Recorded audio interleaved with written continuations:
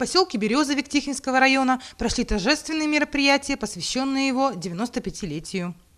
В праздничной программе приняли участие творческие коллективы Тихинского и Березовского домов культуры.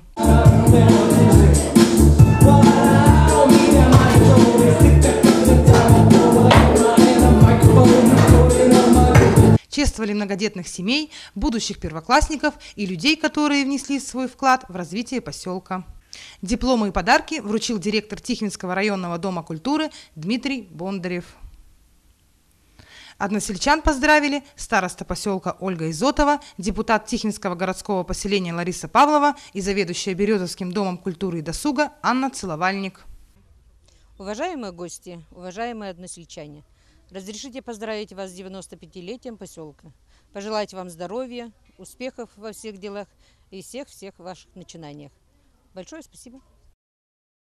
Уважаемые односельчане, от всей души поздравляю вас с таким замечательным праздником. Желаю вам и вашим близким здоровья, долгих лет жизни, любви, благополучия, счастья, удачи, чтобы вас близкие радовали дети и внуки ясного солнышка, чистого неба и всего-всего самого доброго.